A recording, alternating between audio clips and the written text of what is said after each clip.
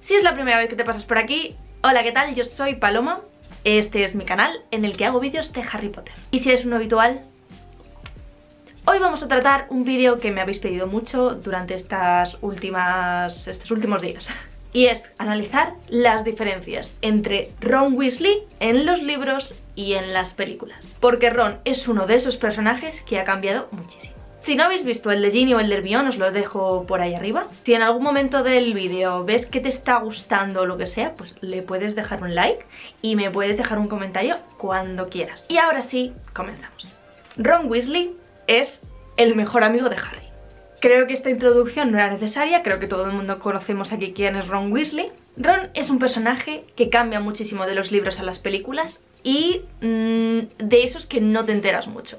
No es como Ginny, que ves enseguida que lo han cambiado un montón. Es de esos que dices, mmm, me encaja con la personalidad de Ron, pero dices, aquí hay algo raro. En los libros, el trío de Harry, Ron y Hermione son un trío muy equilibrado luchan juntos, cada uno aportando sus cosas distintas, lo que tiene que, cada uno que aportar, porque para eso son personas distintas. Y Ron es aquel que aporta sobre todo el conocimiento de la cultura mágica, la parte del humor y el sentido común. Esto es una cosa importante porque Ron es una persona bastante con sentido común. Quiero decir, en Mion hay muchas veces que o entra en pánico, se deja llevar por sus emociones normalmente negativas en cambio, Ron es esa persona que cuando los otros dos están un poco bubo, él es el que dice, eh, venga, vamos a calmarnos, vamos a pensar en esto.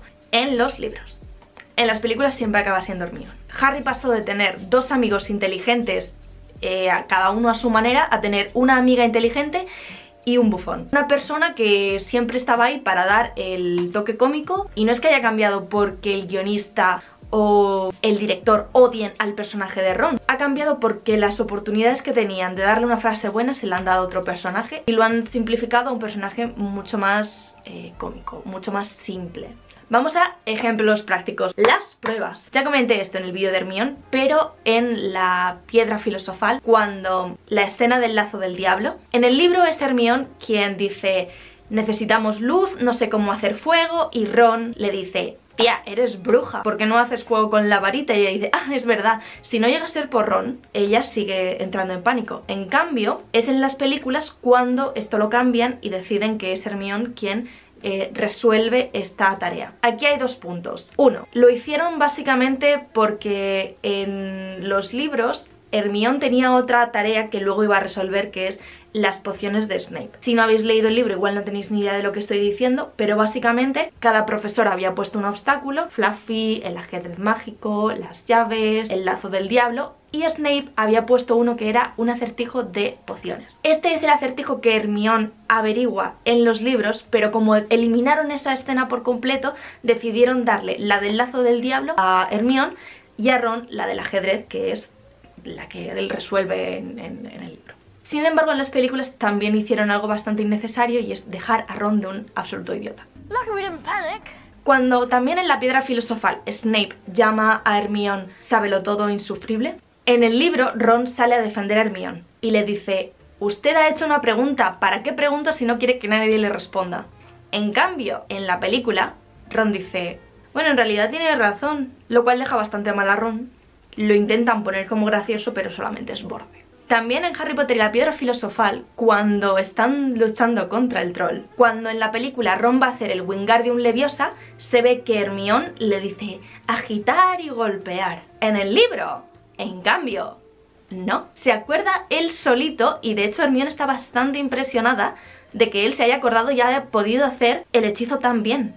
En la película es ella quien tiene que guiarla. También comenté esta en el vídeo de Hermione. Cuando Harry, Ron y Hermione conocen a Sirius en la Casa de los Gritos, Hermione se lleva una frase épica de Ron que es la de si quieres matar a Harry tendremos que matarnos antes a nosotros. En el libro es Ron quien dice esa frase. Y hay una escena que omitieron en la película que es cuando Harry ataca físicamente a Sirius. Harry se lanza sobre él y Sirius tiene que eh, defenderse y le pone la mano en la garganta para defenderse. Aquí tanto Ron como Hermione se lanzan a defender a Harry. Hermione le pega una patada en la pierna y Ron se lanza a la mano donde Sirius tiene la varita, o sea, no es moco de pavo. En cambio, en la película, ¿qué hace? Simplemente lloriquea, se queda detrás de Harry de Hermione... Todo esto parecen detalles muy pequeños, pero son los detalles que marcan la personalidad de Ron en las películas. También es Ron en la Cámara de los Secretos quien explica a Harry y a Hermione lo que significa ser sangre sucia. Cuando Draco insulta a Hermione llamándola sangre sucia, es un insulto que ella nunca ha tenido que vivir,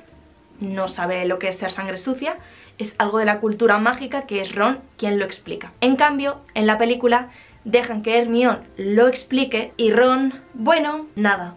Simplemente está ahí escupiendo babosas. ¿Por qué iba él a explicar nada si está ya ocupado escupiendo babosas? Mejor darle este momento de brillantez y de empatía a Hermione. Cuando en Harry Potter y el Cáliz de Fuego, Hermione está leyendo el artículo de Rita Skeeter en el que ella le han llamado de todo y se ha puesto a hablar de su relación con Victor Krum, en el libro Ron está realmente preocupado por la reputación de Hermione, por lo que está diciendo, por cómo pueden afectar las palabras de esta periodista en la vida de Hermione. En cambio en la película, si lo veis, es que le da igual es que pasa del tema. Es también en el Cáliz de Fuego que cuando Ron se enfada con Harry, en los libros lo explica Hermione, pero es que en las películas nunca se llega a explicar demasiado. Se intuye, pero nunca se llega a saber por qué está pensando así. Ha sido siempre el chico más pequeño de la familia, tiene muchos hermanos, siempre ha querido destacar y tener a un mejor amigo como Harry, pues puede llegar a ser complicado. Chicos, nadie es perfecto, Ron tampoco es perfecto, pero aquí lo pintan como un idiota. En Harry Potter y en la Orden del Fénix, cuando están aprendiendo hechizos defensivos en, en la sala de los menesteres el ejército de Dumbledore. En las películas se forman estos dos grupitos de chicos contra chicas y cuando Hermione le lanza un hechizo a Ron y le deja totalmente cao, Ron dice, le he dejado ganar. Y las chicas se ríen. Esto es un momento así como, uy, qué gracioso, como una chica iba a vencer a, un chico, imposible, eso, uff. En cambio, en los libros esto no ocurre así. Ron deja bastantes veces claro que Hermione es una gran bruja y que es mucho mejor en hechizos que, que Ron. Admira realmente a Hermione y no menosprecia sus habilidades diciendo que le ha dejado ganar.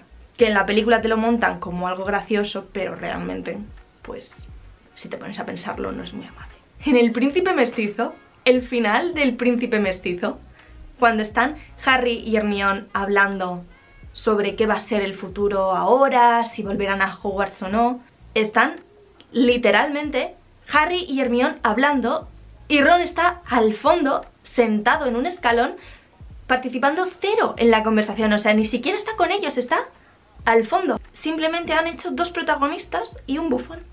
Hola, ¿qué tal? Em, aquí Paloma editando. Se me ha olvidado una escena que yo es como, ¿por qué se te ha olvidado esto? Bueno, da igual. También hay una increíble diferencia que me chocó muchísimo y además la volví a ver eh, el otro día y dije, ¿qué?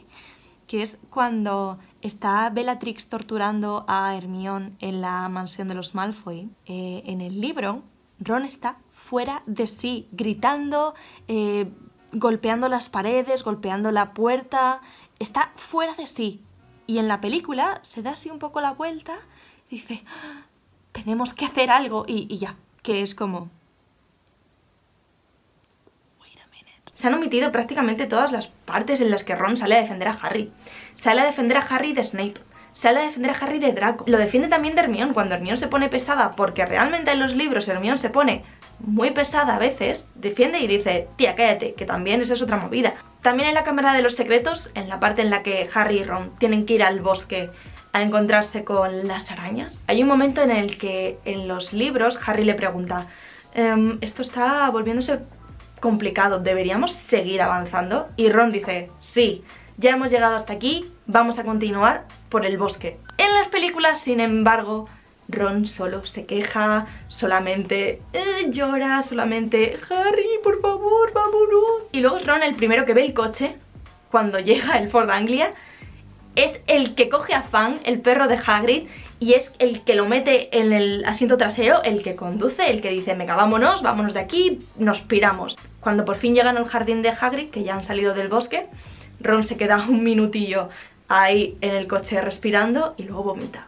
Quiero decir, que no es que Ron no tuviera miedo, es que se lo aguanta para cuando tenga que pasar miedo, cuando ya haya pasado todo. Y no está lloriqueando como un miedica, como en la película que sí, queda muy gracioso, es una de las escenas que más me gustan a mí, yo me lo paso muy bien. Todas estas pequeñas cosas que hacen a Ron un personaje muy gracioso, también lo hacen un personaje muy inútil. Este ha sido el vídeo de Ron, por favor no olvides suscribirte si te ha gustado y darle like y déjame en los comentarios cuál quieres que sea el próximo vídeo, pues tanto de comparar personajes en el libro y en las películas o de cualquier otra cosa. ¡Nos vemos! ¡Bye!